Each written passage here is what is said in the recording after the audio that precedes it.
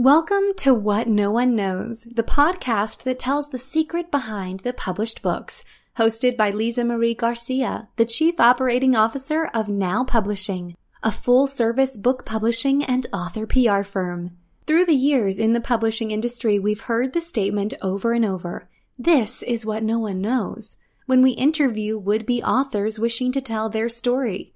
This is what this podcast is all about. And now to our podcast and our host, Lisa Marie Garcia. Hello, this is Lisa Marie Garcia with Now Publishing, and thank you so much for joining us on our weekly podcast, What No One Knows. I'm very excited about this podcast. We're going to be talking with an author, published author, Paulee Bowen. It, her book is called It Is About You so we just love that title and the is is is big and bold. So it is about you 10 ways to be stronger and happier. She also has a offering for young adults. So we'll talk about that a little bit uh, into the podcast. But uh, welcome Paulee. Thank you for joining us.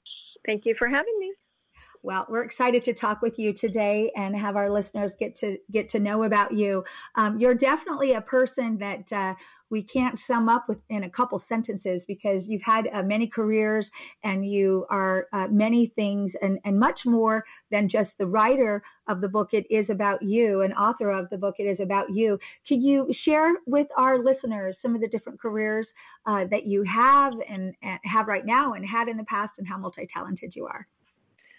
Wow. Um, so in the past, I have um, I've actually been a magician's assistant and a dental assistant and a model, which I still do some currently. So I did some leg modeling. I was a ballerina for about eight years, eight to ten years, and currently I work for an insurance company. I work for State Farm. I've had my insurance license since 1997. Um, and I also have my own radio show and I'm an artist. So I've, yeah, I guess I've got a lot going on, don't I? I mean, oh my gosh, how fun though! I always love it when you share about the magician's assistant, um, magician slash dental um, assistant. I love that as if that's the job. But yes, what I love. Thank you for sharing all of that, and and particularly or specifically i should say what our team here at now publishing um, saw when we first met you were your gorgeous artwork. Um, and they were um, well we actually saw a lot of different types of um, subjects but the majority were were these mermaids. And um, and so that's very much on your brand as we've as we've gotten to know you and that.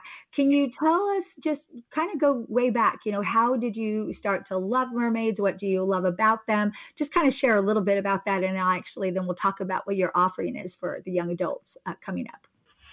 Well, actually, you know, I was raised in Kansas, and so mermaids were especially fascinating because I knew I wasn't going to see one there in any lake nearby. And um, so when I was a child, I loved um, Hans Christian Andersen, of course, Little Mermaid, uh, the original, and yeah. so, and of course, and there was a ballet, a beautiful ballet performed by the Copenhagen, uh, you know, the Royal Ballet in Denmark. There, um, so that was one of my favorite movies of all time, and it just carried forward. I always, always love them. Even that silly chicken of the sea mermaid on the tuna commercials. I don't know. It, it's always been a thing. I've always wanted to be one. And um, so when I got to Florida, it was, you know, more appropriate here to really embrace that and do some artwork uh, around mermaids. And I thought that would be something relatable because there's such a culture here. There's, you know, I also make mermaid uh, swimsuits uh, swimsuit tops. And there's so many people that relate to that, and little girls especially love it. And I don't know. So many of us adults would rather just swim away and be a mermaid, I think. Absolutely. Or at least, you know, th- think of what the mermaid issues are in this world and say, I'll take those versus what our issues are in this world, right? Exactly. yeah. It's like a lighter load. I, I love it. Well, I think it's it's definitely part of who you are as a businesswoman. I think you're very creative. After reading your book, it is about you. You you have a very creative approach to you know the advice that you give um, one of my one of the most fun chapters I, I read in your book that's now available at it is about you book.com by the way um, is you say uh, you have a cha- what is it chapter eight where you say, Stay a fish amongst the sharks. Yes. Now, make no mistakes. This is a business book. I mean, you have this, you know, whimsical fancy and this artistic and creative way of looking at it, but it is very much a book of of you know of empowerment and of inspiration to business people. Can you talk a little bit about that chapter just in general? You know, what are you saying when you say stay a fish amongst the sharks? Love that. Well, I've experienced a lot of sharks in the business world, meaning they're they're predatory, they're not nice, and they will sacrifice a customer just for the sake of being spiteful to a coworker. And so I've been on the receiving end of that, and it's so painful. And you know, the thing is, that behavior should not be accepted. And one thing I touch on in the book mm-hmm. is society is a tad bit backwards in a way because I'm equating sharks with bullies a little bit, you know, too, because um, for some reason bullies are more accepted in the adult world. I haven't have not figured out why, but the rest of us are told to just deal with it or, you know, don't be sensitive. And I'm not oversensitive about that. I mean, I'm in sales too, so I can handle rejection. It's not about that or being a wuss. It's that bullying behavior is not acceptable. You know, you can't go around treating people badly.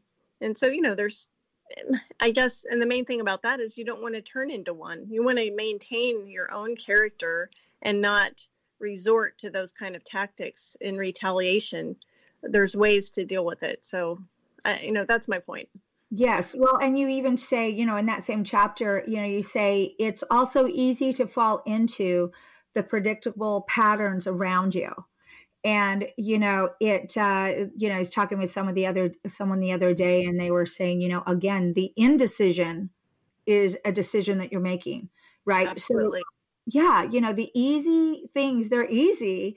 And that's why, you know, most people do the easy things because it takes effort you know it takes um you know a very uh, you know a very you know pivoted pointed where you say nope i'm not going to you know continue to act this way just because everyone else is or i'm not going to not speak up because you know i'd be the only one speaking up the more difficult you know road. So um, i love that. And uh, you know you're just saying you know stay who you are. So stay that fish whatever you are. If you're a clown fish if you're a you know whatever kind of fish you are if you're you know a, a yellow tail. yellowtail yeah any of that. So that's awesome. Um, let me ask you because we have this quite a bit come up um, with folks that you know want to write a book and they just are having an issue taking that first step over the threshold to do it. And if i remember you came to our team in december. Is that yes. right? Okay yeah because it was christmas time and everyone's thinking about parties. None of us knew what 2020 was going to be. You know we're just having a great a great old time. You know what was it that you know made you say no this is the time i'm going to do it and write your book. Start to write well, I had actually uh, started back in the summer because I had, you know, self published one little children's book. And then I started this uh, Mermaid Logic book. And then my dear friend Suki wanted to join along when I saw her, when showed her my illustrations. And she said, Well, I'm a graphic artist. I want to, I want to help. And so uh, before I knew it, I was emailing her my illustrations and she was adding all these wonderful things and came up with ideas. So we had worked for actually really hard on it for four months, five months prior together. She and I had worked on this uh, Mermaid Logic uh, project. And then uh, by happenstance, I went to an RGA meeting uh, out of my busy schedule. I just popped into this meeting. I met somebody that day who knew of you guys, and she hooked us up. And the next thing I know, I'm meeting you in December, the Wednesday before Christmas, and it's all, you know, it all came together. So that was incredible, actually. It, it, was pretty amazing when we met with you. And I'm glad you brought that up. I wanted to talk about just for a moment here. Um, so not only are you the published author that's now available on on um, on pre-sale called it, it is about you book.com, but you're the published author of a second offering called Mermaid Logic. And you just mentioned it briefly. And it's very unique for our publishing house to have put together a workbook guide that first of all has your beautiful artwork in it. It's just which is just it's just just astounding. Um, and, and I know for you, it's just your, you know, you think that they just come out of, you know, everybody, they don't, so to speak. I mean, I, I am like not, I'm a stick, I can make a stick man. That's my artist. there but even more than that they're just so colorful and lively and what's beautiful about the artwork in this book is they all have a specific message and it's you know just a few words or an impactful sentence and then what you've done is you've you've written to that young adult, that young uh, female that's you know in high school, in uh, the years of college, in their undergrad years, and you're speaking to that even those middle schoolers uh, to give them these empowerment messages, honestly. Mm-hmm.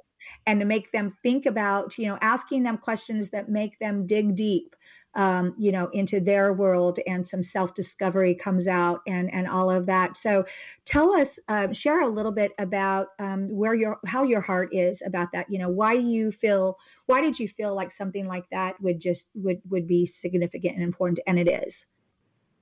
Um, because a lot of times we forget just basic principles in the rat race of life, you know, um, and especially, you know, referencing the shark, the shark quote, is that how do I say it? It's insidious, you know, a lot of times when we start changing who we are, we don't even realize it. So we have to have the conviction to stay true to our character. And I feel like little reminders, little pick me ups will, um, I don't know, girls will find relatable because think one of them is you don't want to ride all the waves. so, right. you know, that's that means stick to your character. And if you don't have to take everything, you don't have to settle, I guess, is a lot of that. Um, and some days you have to make your own sunshine. And that's one my mom always used to say to me. And it's so true because sometimes the days are so gray and you just have to do your best to be sunshine for other people and make your own and I feel like there's so many different quotes that are relatable on different days. I just thought that it, it might really inspire some some young girls. It absolutely will. And you reminded me of another chapter in your book that's such a fun one where you do talk about, you know, sometimes you have to make your own sunshine. Um, just again, just, just, it's just a very, um, positive and, you know, very, it's positive and down to earth kind of business advice that it is about you it, is how I could describe it since I've happened to to read the book. Um, you did bring up I was going to bring her up, but you brought her up yourself, and that's your mom because in this business book you do talk about the mentorship that she gave you and the influencer that she was in your life. Um, can you maybe share a story? Um, I know I'm putting you on the spot here. Can you share a story? Uh, with with our listeners of, of something that she you know how she mentored you and, and got you to start thinking a little differently than maybe you were at the time um, yes. um, in the book. Thanks. Yeah she started uh, really early with me. I was um, in campfire girls which is like girl scouts but it's a different organization. And we had um, to sell candy. And um, this is just one of many. She did not do it for me. Let's put it that way. A lot of parents will take their, you know, kids' sheet to the office. Well, for one, my mom worked at home and stay at home mom, but she didn't call her friends. She didn't tell people to order from me. She had me do it. So I would go to the neighbor's house or, you know, she'd drive me. Um, or I'd take the sheet to church and I would ask people. So she made me do it myself and I love her for that. And there's a couple other instances, and one of them's in the book about the readathon, and yeah, no, she didn't do it for me, and I love that because she made me independent, for one, in a lot of ways, and motivated me, and more of a go-getter than than if she just did it for me, if that makes sense. No, absolutely. And I, you know, I'm glad you reminded me of that, honestly, because so I have a, a freshman to be and a sophomore, what are they called? Enterprising freshman and enterprising sophomore, which means they're going to school in two weeks, and that's what they'll be, right? Mm-hmm. Um, but I'll tell you, my freshman is constantly getting um, having me do something that she doesn't want to do. Just for instance, she, you know, if I say, you know, go to the I, you know, step out to the eyeglasses place and see how late they're open, which is just, you know, what kind of that's nothing, right? That's nothing. That involves, you know, mm-hmm. talking to someone behind a desk and asking them a question um, you know she'll no mom no I, i'm embarrassed and and you know so